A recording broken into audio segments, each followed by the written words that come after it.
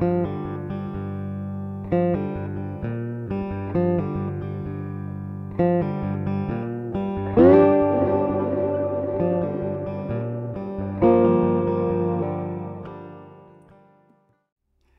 everybody, this is Mr. Monty Talks coming to you. Just wanted to share a bit of uh, history and also a little bit of Jack Daniels.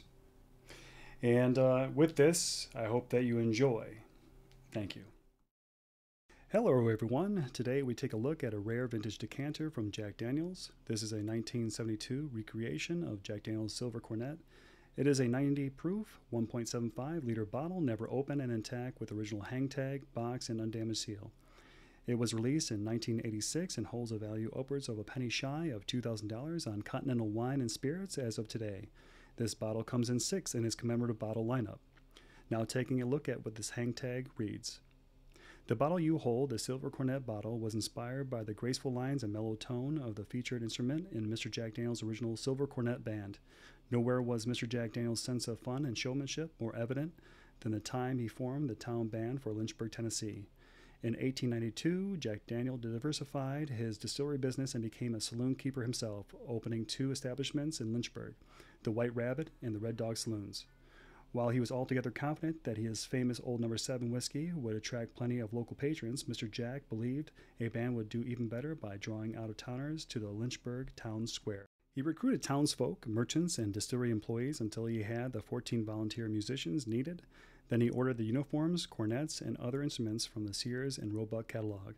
Total cost $277.70. The band was an instant hit and continued to entertain and delight folks in Middle Tennessee for 20 years. Because of their versatility, the band was in constant demand for parades, festivals, picnics, and select funerals. But as World War I approached, our young men began volunteering for a greater cause, and the band became inactive.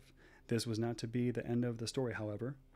In 1972, we faithfully recreated Mr. Jack Daniels' original silver cornet band from our recollections and the help of this old wood cut. Today, the Jack Daniels original silver cornet band is busy making music, playing at college campuses and civic auditoriums across America.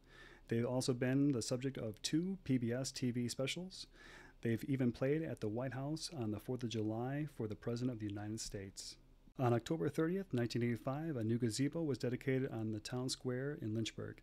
It will serve as the official home base for the band.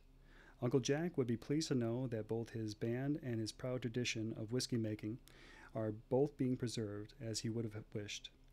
Mr. Jack Daniel knew that the demand for quality in music and in the whiskey making were ideas which would stand the test of time.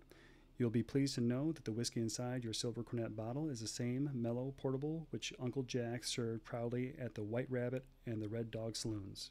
So I hope you enjoy this piece of bottled history and look into one of Jack Daniel's beautiful and rare pieces of bottle perfection. As always, if you like this content, please like, comment, share, and subscribe. And as always, thank you for joining me on Mr. Monty Talks. Good night.